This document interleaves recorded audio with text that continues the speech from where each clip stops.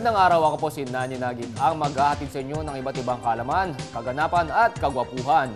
Mga balita ni Juan tungkol sa sino man, ano man, saan man, kailan man at kung paano man. Hashtag formal clothing. Hashtag formal speaking. Hashtag news program ang PEG. Ito ang hashtag Pinoy Balita.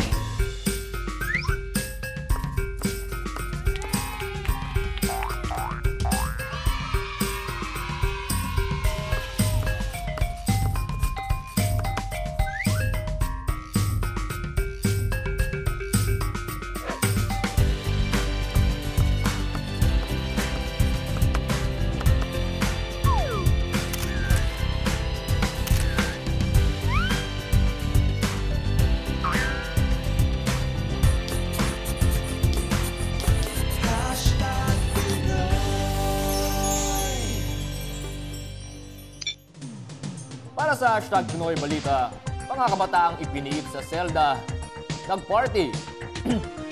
nagparty? Para sa mga detalye, nakatutok doon live si Nani Nagit. Reporter Nani, go, go, go! May kahaba ng Visayas Avenue sa may Quezon City. Matatagpuan ang Zelda 2 kung saan nagpupunta ang mga tao gustong kumain at makijami habang nakaposas ang dalawang kamay. Ay, pakawalan niyo ako. Nakakulong sa mga rehas. Pakawalan niyo ako. At sinisilya elektrika. Pakawalan niyo ako. Bakit Zelda yung naisip niyong theme sa bar? Ah, Zelda kasi, yung pagka sinabi mong preso, merong bakal, tsaka meron ding ah, bato, which is yung rock and metal na music na genre. Peaceful naman po dito sa bar niyo. Hmm, naman. Wala namang nag-aaway-away, nagkakagulo, kasi Zelda eh. Parang rock na rock, di ba? Pero hindi naman kayo nakulong, ano? Ah, hindi naman. Pero kasi pangalan nyo, La Ilaya. no? Yeah. Laya. Kung life imprisonment ang pinakamabigat na parusa ngayon for a criminal offense, noong 16th at 17th century, kinukulong lang ang mga taong nagkasala habang naghihintay ng kanilang trial o punishment. Pero dito sa Zelda 2, parang ang sarap makulong eh.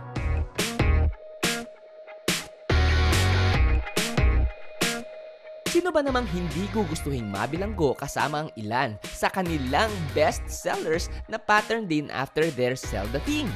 Ilan dito ay ang Kinatay na Tinapay, Belgica's Hot Wings, Prison Demon Sausage, Death Row Mix, at Lethal Injection. Nagkaroon na ba ng kaso rito na may kumain tapos hindi biglang nagbayad? Ganun, hindi naman. Hindi naman. Hindi naman, no. Pag nangyari yun, pwede nyo, ikukulong nyo sila. Siyempre. Ang iba't ibang kulungan sa Zelda 2 ay tinatawag na VIP cells na open for reservations. For just 2,500 pesos, makulong with your friends and the friends of your friends for the whole night. So paano? Kainbitay na to! Ito si Nani Nagit, nag-uulat para sa Hashtag Pinoy Balita.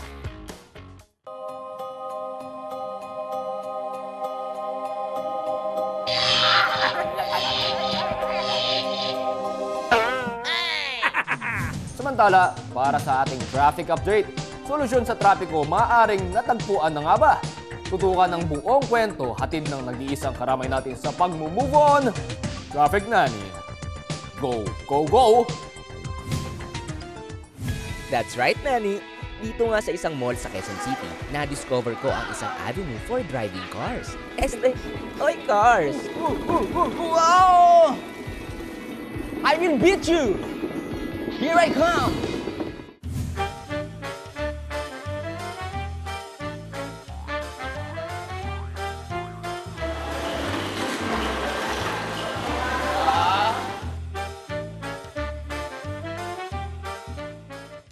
August 2015, nagsimula sa Pilipinas ang Drift Box.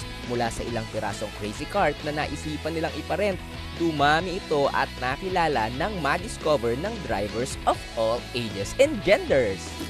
Para ka nagka-drive din ng mga go-kart. Pero ang kaibahan nito, meron siyang kakayahang mag-drifting. Alam nyo ba ang drifting, guys? Nauso to sa Japan.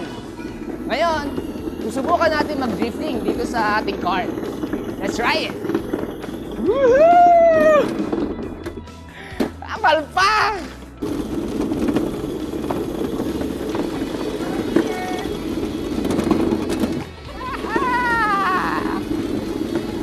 Ay!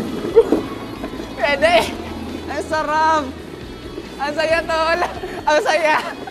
Ang so crazy! For just 100 pesos, enjoyin ang crazy experience of driving a crazy car. Crazy, right? Kapag ang ating ah, crazy cart ay tinanggalan natin ng stopper, ibig sabihin, mas mabilis ang ating magiging takbo dahil mas maraming nasusupply na kuryente sa ating machine. So, ngayon, wala nang stopper ang aking crazy cart. Tingnan natin kung gaano to kabilis. Let's do this! Wow, parang may chuma-challenge sa driving skills ko ah.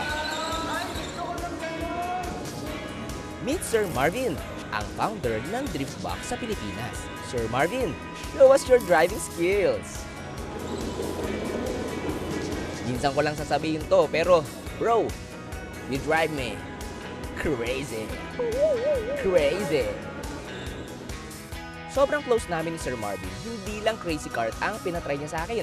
Subukan ko rin daw ang kanilang shredder na merong same feel at same experience of riding a motorcycle. Come on guys, are you shreddy? I'm shreddy! Woohoo! Kung sa tingin nyo naman ay magaling kayong mag-balance like me, try nyo rin ang kanilang air wheel and its wheel na nag-glide sa air.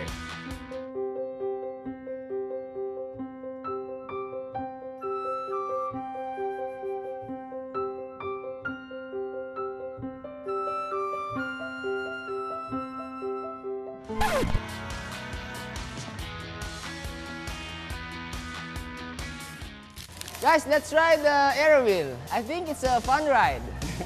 Sir Marvin, let's do this. Guys, ang saya nito. Para kayong nagbabalay na nag-figure skating.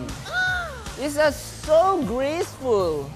You can feel the energy in your body flowing. Woo! Pagod, pero enjoy.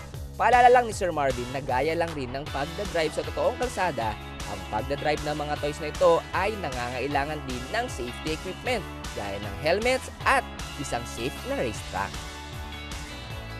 At syempre, para maging mahusay na driver at mailabas ang full potentials ng mga toys na to, kailangan ng practice. Kaya, punta na sa Drift Box. Imagine guys, kung ganito ang sasakyan natin sa EDSA, palagay ko, wala nang traffic sa kalsada. Woohoo! Para sa ating hashtag Pinoy Survey ni Bey, ipadala lamang ang inyong mga sagot sa tanong na Iba ang Pinoy dahil...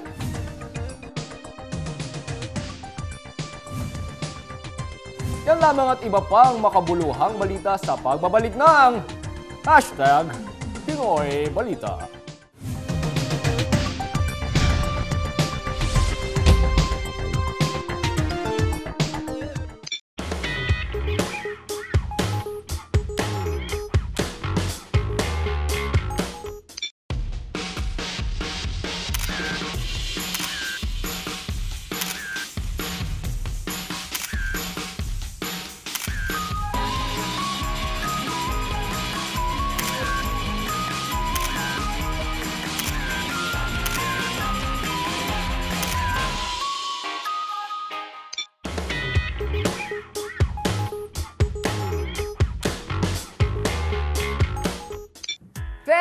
Nani!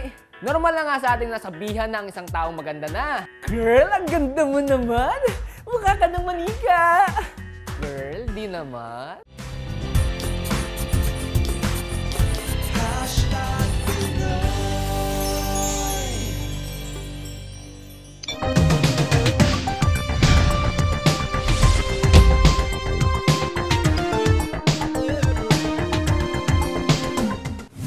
Maging updated sa mga freshest, hottest, latest news sa mundo ng showbiz. Hatid sa atin yan ng ating showbiz friend, Chika Nani. Go, go, go! Thanks, Nani! Normal na nga sa ating nasabihan ng isang taong maganda na. Girl, ang ganda mo naman! Mukha ka ng manika! Girl, di naman. Pero ngayon, isang doll artist ang nagpatunay na ang isang manika maganda. Pwede rin sabihan ng, Doll, sobrang ganda mo! Mukha ka ng tao! I'm Ange Calvo. I'm an OOAK doll artist. 5 years old pa lang si Ange ay nagsimula na siyang mangolekta ng mga dolls. At ang line of work niya sa fashion designing ang nagbigay sa kanya ng idea of a full doll makeover. Sinisimulan niya ito sa paghahanap ng face mold ng manika na babagay sa features ng celebrity na gusto niyang gayahin. Pag nakuha ko na yung manika, buburahin ko na yung mukha nun. I use acetone. And then, pagkatapos nun, kukuha ako sa internet ng mga pictures nila. Tapos titingnan ko kung anong makeup pinakabagay sa kanya. Gamit ang pintura, isa-isa niyang may make-upan ang mga ito and turn them into celebrities. Meet Angelina Jolie, Lady Gaga, Drew Barrymore, at Halle Berry. Pagkatapos, di syempre meron na akong, kumbaga nandiyan na yung artista, nandiyan na yung makeup, nandiyan na yung buhok, nandiyan na yung damit. Syempre, doon na papasok yung photoshoot. Your host, Frank Sinatra and Audrey Hepburn. Contestant number one, Nicole Kidman. Contestant number two, Anne Curtis. Contestant number three, Beyonce. To give this special award, ladies and gentlemen, Miss Imelda Marcos.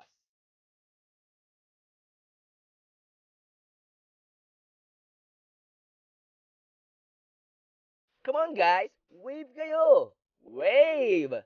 Oh, smile! Pinapadami ko na pinapadami yung mga manika ko ngayon na artista. And then, maglalabas ako ng isang buong collection, kumbaga ng mga damit na suot yung mga ginawa ko para sa kanila. So parang, pwede ko sabihin na, Uy, sinuot ni Nicole Kidman yung damit ko. Yun nga lang, manika. Pero at least si Nicole Kidman pa rin, diba? Parang ganon. Again, this is Chika Nani for Hashtag Pinoy Showbiz! Sa balitang sports naman, ilang Spider-Juan natagpuan sa Taguig City. Samahan nating magpabitin-bitin sa hangin ang nag-iisang sporty guy natin. Nani? Nani? Go, go, go! Nandito nga ako ngayon sa BGC sa Taguig City para subukan ng isa na namang extreme sports experience, Flying Trapeze!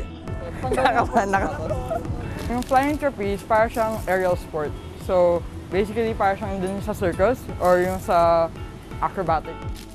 July 31, 2014, binuksan ni Mr. Will Shu ang Flying Trapeze Philippines, ang kauna-unahang flying trapeze school sa Pilipinas.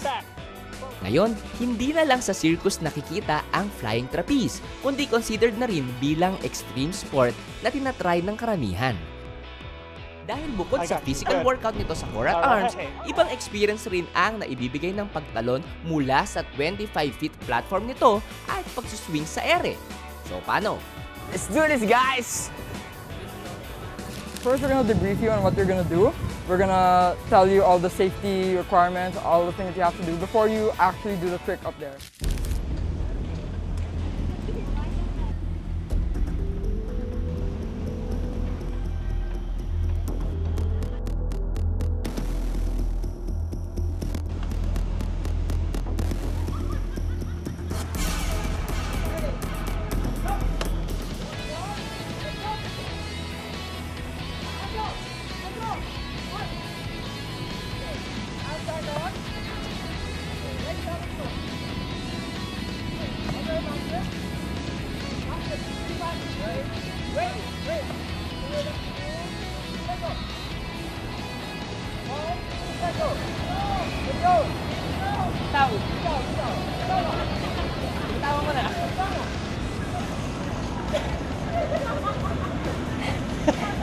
Guys, hindi pala ganong kadali mag-flying trapeze. Kailangan ng matinding concentration at pakikinig sa mga instructors.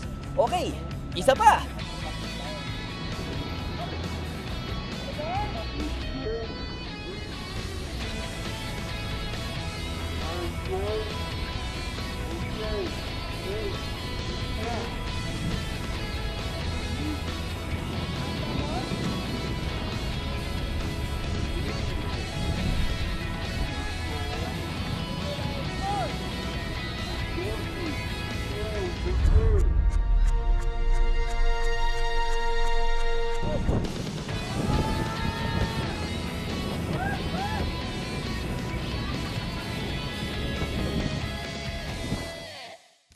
Feels like I'm in heaven.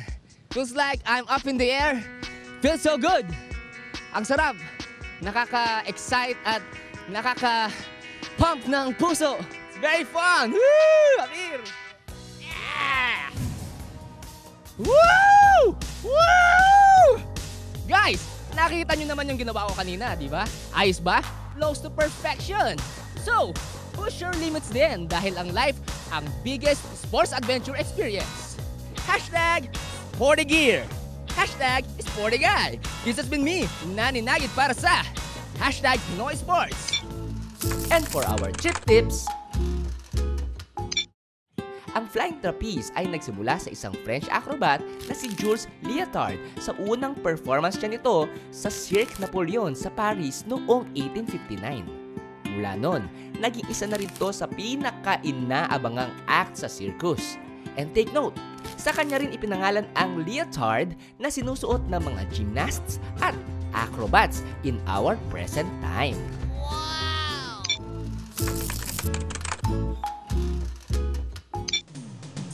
Abangan sa pagbabalik ng Hashtag Pinoy Balita.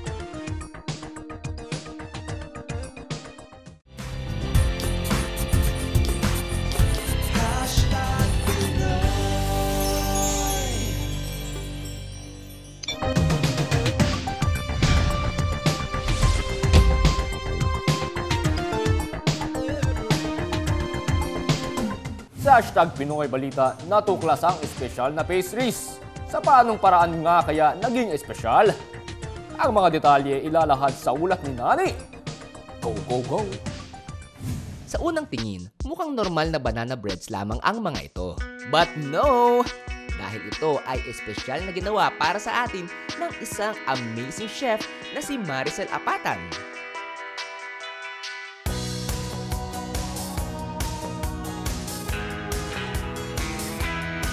Pagluluto, since 7 years old. Since ako yung panganay sa amin. Kumbaga, ako nang responsable magluto sa bahay.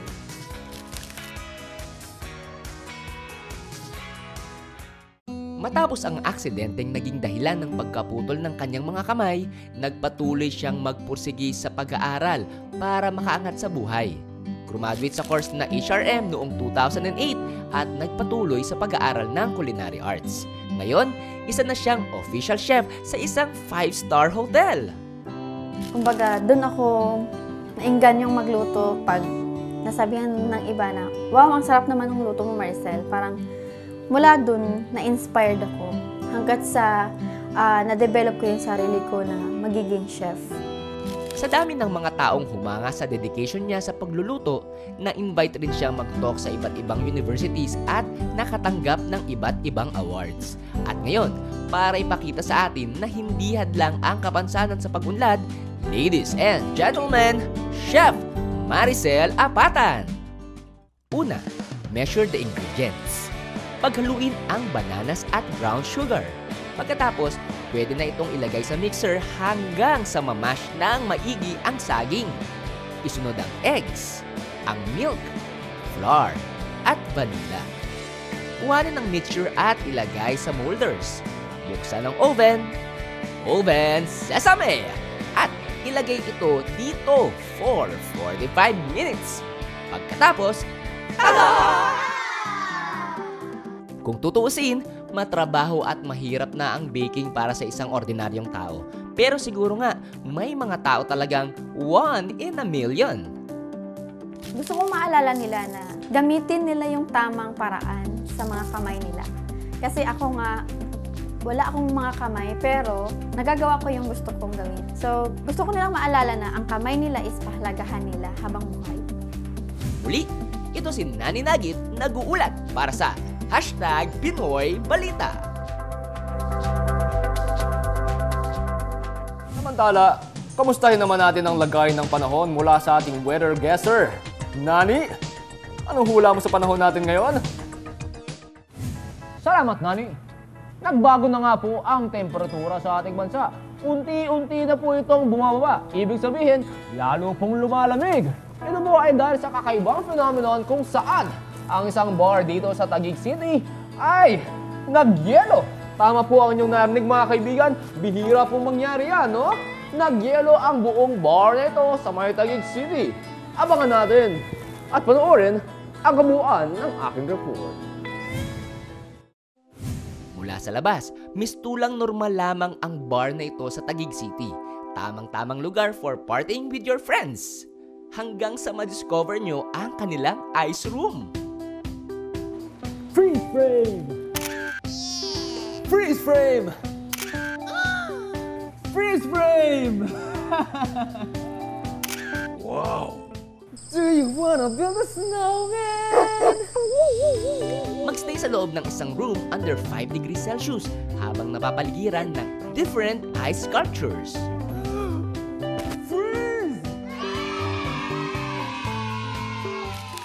Ayos ba tayo dyan, mga chong? Ayos ba ang get up ko? Ayos ba to? Ayos to.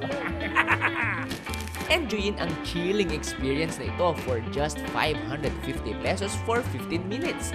Pero don't you worry, provided naman ang winter outfit mo bago ka pumasok dito. And if you think that you've had enough of the experience, pwede ka nang bumalik sa lounge at subukan naman ang kanilang mga food and drinks. Chicken Cube Caviar Parfait Calamari Rings Cheeseburger Sliders Smoked Salmon Nachos Hashtag winter outfit.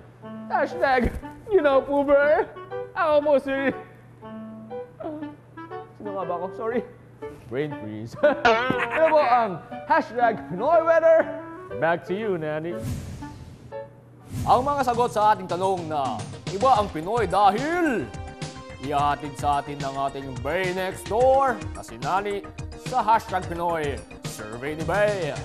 Nani, go, go, go! Iba ang Pinoy dahil astig ang Pinoy. Iba ang Pinoy dahil talented tayo. Iba ang Pinoy kasi may diskarte ang Pinoy. Iba ang Pinoy dahil maganda ang Pinoy. Iba ang Pinoy, angat ang Pinoy. Hashtag Pinoy, yan tayo eh. Hashtag Pinoy, yan tayo. Hashtag Pinoy yan tayo. Hashtag Pinoy, yan tayo eh. Hashtag Pinoy, yan tayo. Hi guys, my name is Nani Nagit. At para sa ating host corner, ngayong episode ng Kakaiba, nag-isip ako ng isang kakaibang bagay na pwedeng gawin natin. At since malapit ang mga Pilipino sa musika, naisip kong gumawa ng music tune pero hindi gamit ang aking vocal cords tulad noon. Hindi rin gamit ang musical instrument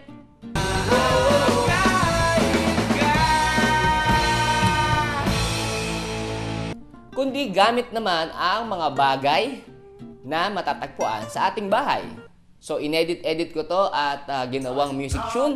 So, I hope you like it. Yeah!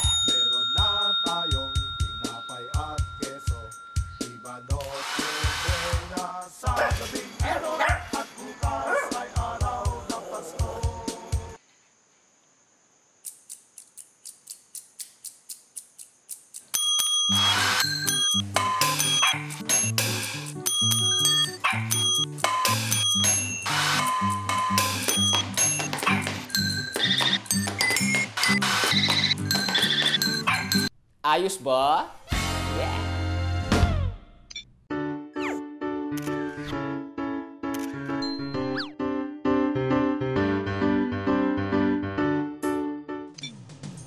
Kapag sinabi mong kakaiba, minsan parang may kakabit na siyang negatibong impresyon. Uy, kakaiba yung forma mo ah. Ang pangit. Kaya yung iba para hindi mabansagang kakaiba, patangay na lang sa agos. Sunod sa kung ano yung standards ng lipunan hanggang sa mawala na sila ng identity. Pero di ba, meron nga tayong kasabihang one in a million or sa ating namang mga Pinoy, one in a million.